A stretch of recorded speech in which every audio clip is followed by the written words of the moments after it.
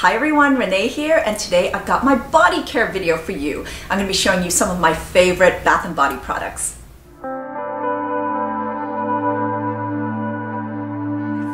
So the body cleansers that I go for tend to be quite similar to the ones that I use on my face in the sense that they are sulfate free and they're a little bit more on the acidic side. I feel like this switch, just like for the skin on my face, has made probably one of the more transformative differences to the skin on the rest of my body. Most of you guys already know how much I love this, which is Ren's Moroccan Rose Otto Body Wash. I've been using this for years, along with the other scents actually. I've used every single scent. Um, my other favorite would be the grapefruit one. This uses natural bioactive ingredients. There's nothing toxic or unfriendly to the skin in here. It's also a cruelty-free brand. This has a subtle but beautiful natural scent of Rose Damascena. There's no added artificial fragrance in here. It's just beautifully luxurious. This never leaves my skin feeling dry or stripped, but still very clean. It's actually quite low foaming if you're using your hand, but if you use it with one of these amazing things, then it will lather up to something really satisfying. This definitely helps create that generous, satisfying foam. And also for body washes like this, it also helps it go further. So I also absolutely love this for those hard to reach areas. This will get your back. It's got that perfect curved wooden handle, so it really gets into places. I actually replace these sponges every single month, which is fine because they're not expensive. So I gotta say, I also love oil cleansers. This has sort of become my new obsession. This is what I'm using the most now. Firstly, the L'Occitane Almond Cleansing and Softening Shower Oil. Again, this uses just the most gentle natural cleansing agents, no sulfates, yet this actually lathers quite beautifully. It's got a very faint almond scent to it, which is just nice. I love that they moisturize as they cleanse. It's just so perfect for this time of year. It's not gonna leave any residual oiliness on your skin, but you just won't be stripped and dry. This is full of natural skin conditioners. I mean, if it's L'Occitane, it's gotta have shea butter in it. It's got coconut oil in it, grapeseed oil, um, glycerin, apricot, almond, honey, vitamin E. It's, it's just so nourishing. Another more recent discovery is this one from Too Cool for School. I actually love the body products Too Cool for School. They're actually really innovative. This is their Coconut Milky Oil Shower Moisturizing Body Wash. This formula is 84% natural ingredients, including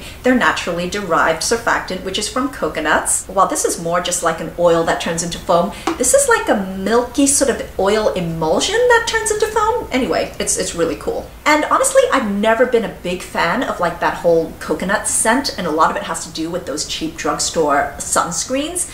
But this is actually quite a nice coconut scent. It's actually not that strong. You will smell it when you're first applying it, but it does go away. This contains oatmeal, soybean oil, coconut oil, and coconut water. Let's talk about body treatments now, the ones that I have found to be so effective. They also kind of fall into the cleanser category because a lot of them tend to be cleansers. So in my oily skin acne prone video, I talked about Dr. Murad's Acne Body Wash. So Murad is a line that I have curated in the past, and Dr. Murad was particularly well known for his acne treatments and his acne treatment products. I remember this body wash being one of the most popular selling items because there weren't many that addressed this issue as well as his product did. It really was one of the first body washes that addressed acne that actually worked and was gentle but effective. This not only helps treat body acne, but it also helps prevent it as well. And what I love is that there are no harsh, stripping surfactants in it,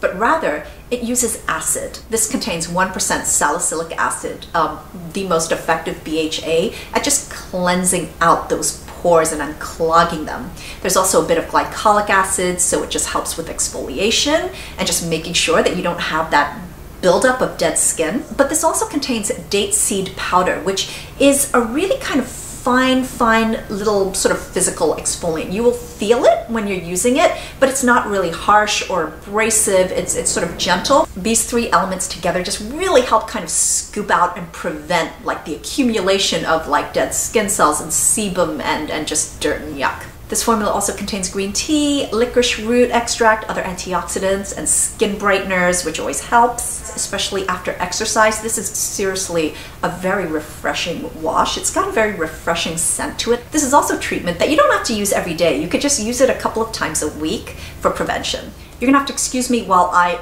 gush about this next treatment, Glytone's Exfoliating Body Wash. This is like going to a Korean spa or a Turkish hammam in a bottle. I mean, if you have chicken skin, that prickly stuff on the back of your arms, chicken skin anywhere on your body, if you have bumps, red bumps, any kind of discoloration, any rough, dry patches, this gets rid of it all. If you have scaly legs, or if you have elbows and knees that are gray with dry patchiness, it will sort everything out and leave you with this baby soft, smooth skin. I discovered this last winter. I went to a spa and that's where they recommended it to me. I swear, I find I make some of my best finds in spas. This does not sound like a gentle formula. In fact, it's got sulfates in it, which I will give this product a pass because it is so incredibly effective. This doesn't actually give me any irritation at all, although if you do have really problematic skin, you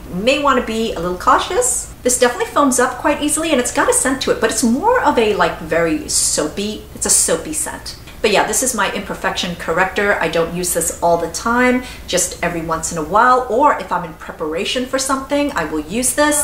Speaking of Turkish hammams and Korean spas, I also have this mitt that I really love. This is actually an exfoliation mitt that is only meant to be used like once every two weeks. This is definitely not super abrasive or scratchy, but it is a really nice exfoliation tool, especially if you're someone who uses self-tanner, this will do the job. Or if you just want to be really smooth for an event, it, it's an immediate result. This really is more about just eliminating the dead surface skin, um, just quick fix, but yeah, I really, I like it. And I like it because it's a lot less abrasive. It's more of a refined kind of exfoliation than some of the other kind of glove, really wiry, almost Brillo pad type of um, exfoliation mitts. So for exfoliation, actually more for like skin detoxing, there's also dry brushing, and you can either use a boar bristled brush like this, or you can use one of these. I actually like using one of these. The Sisal brush is obviously not as soft as the boar bristle, but you really get a sense of like circulation afterwards. Your skin is just tingling with vitality. I'm just not one of those people who have it so together that this is something I do regularly regularly. Um, I do it once in a while. Let me know if you want a video about dry brushing because I, I know how to do it and I do actually believe in its effectiveness. I do actually prefer dry brushes that come with a handle so it's easier to reach you know, certain areas. So obviously you can't just exfoliate and leave it at that. So now let's talk about some of my favorite skin hydrators and moisturizers. So this, which is the chemistry brand Underdecium, the hyaluronic body mist is a typical example of my excitement for a product driving how I take care of my skin. This was actually a really new purchase for me. I went to their pop-up store in New York City and I saw this and immediately I was intrigued. But it wasn't until I kind of swatched it on my hand that I was like, okay, I need to get this. You should all know how much I love me a good hydrating mist. So the, conceptually, this was already right up my alley. I've been using this every day. I love it. I'm liberal with my mists, so it's kind of concerning me how far up this is going. I feel like it's almost over, and that's that makes me very sad. Up until now, the only body mists that I've seen are like the dry oil ones that are usually really kind of scented. When you're first using this, it's it's actually quite cold. It's very refreshing. I can imagine in the summer this is like the most refreshing thing, but it's actually it's a little cold in the winter. When you spray it, at first it's just like water and you're patting it in and you're patting it in and at some point it starts feeling a little tacky. Your skin starts feeling plumped, tacky, and then that just kind of goes away, it disappears and your skin is soft and super smooth, super soft. In the summertime, or if you're in a place that's just humid, this is all you need. You just spray it all over and then just go. But in the winter when you apply this, and then apply moisturizer over it. it is just next level soft smoothness. You really feel like it's plumping your skin out in a way that just regular water doesn't do. I mean, it's, it's like when you're using a hydrating toner on your face. This is also long lasting. It's not like water that eventually evaporates and disappears. It just keeps everything plump and smooth for a really long time. So this is um, a very simple formulation which is geared towards just hydration. It's got the sodium hyaluronate cross polymer in it and other humectants. If you have dry, dehydrated skin on your body, but you have acne,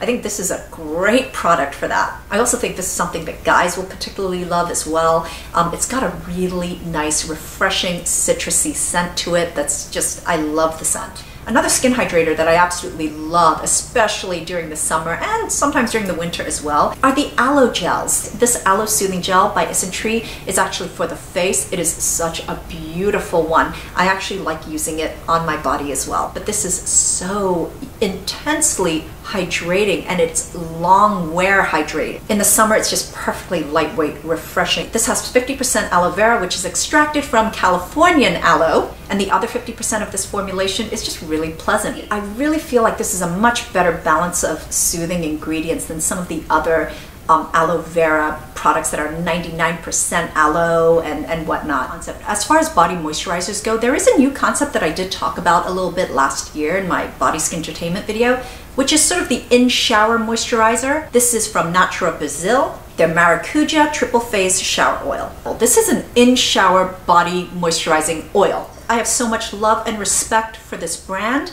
which I consider a very important one, and for this product. This is my favorite of their entire line. And right now I just started using the Maracuja because I think it's perfect for this drier weather. An in-shower oil treatment is basically something that you use right after cleansing while you're still in the shower. You just kind of smooth this all over your body and then you rinse it off and your skin will be really soft and moisturized. There's not going to be any greasiness there, but there's definitely, you've got a moisturized layer. Like after I'm using like an exfoliating cleanser or a treatment like this, then I just apply that immediately and my skin will be softer than like, you really don't need to apply any other moisturizer on afterwards, even after toweling off. It's kind of in there it's kind of like the oil, the moisturization is already in your skin. So I do want to talk a little bit about Natura Brazil. All their products are vegan, they're cruelty free, they don't, you know, put in cheap fillers like mineral oils, um, petrolatum, no PABAs, no parabens. This is probably one of the most known brands in Brazil that finally just landed in the US. They're most famous for, and I would say important because they're very well known for using indigenous native ingredients from the Amazonian rainforest in a sustainable way. They use acai, pitanga, maracuja, but they also provide work for the indigenous tribes. In fact, a lot of their formulations and ingredients are inspired by these tribes and what they use to as medicine to heal and soothe their skin. So back to this triple phase shower oil. As you can see, there are three layers to this, which is really kind of cool. Their main layer here is their maracuja oil, which is such a rich, wonderful moisturizing oil for the body. It's rich in omega-6s, which makes it perfect for locking in the moisture in your body, especially if you're in the shower. This is super comforting and nourishing for your skin, especially after you've just exfoliated. It will leave your skin feeling like velvet. I do want to say that these Brazilian products are not for the faint of nose. The scents are not subtle. That is something you might want to keep in mind if you are very sensitive to scent. Special mention for the other oil that I talked about in my last year's video, which is the Too Cool for School Oil Mousse. That is still one of my favorites, but I will link that review down below and, and up there. Body moisturizers, personally, I prefer the lightweight ones, the ones that just absorb into your skin really quickly and don't leave any greasy residue, is not invasive at all, will not transfer onto clothes or anything like that. I talked about this in my last month's favorites, which is Belif's Body Bomba Lemon Verbena Body Cream. It's sort of on the lightweight side, immediately super fast absorbing, but it keeps your skin feeling really velvety soft. It's got that same beautiful texture of the moisturizing balm for your face. It's also got the same formula with the apothecary and herbs in it. Um, this just has an, a stronger sort of lemon verbena scent, which is really a very herbal kind of lemon scent. But I absolutely love it. I want to try all the other scents after this one is done. But yeah, so that's it for my body care favorites. Please let me know what you guys are using and loving. I, I, just love learning from all of you. Thank you so much for watching, and until next time, I'm wishing you great skin health. Bye!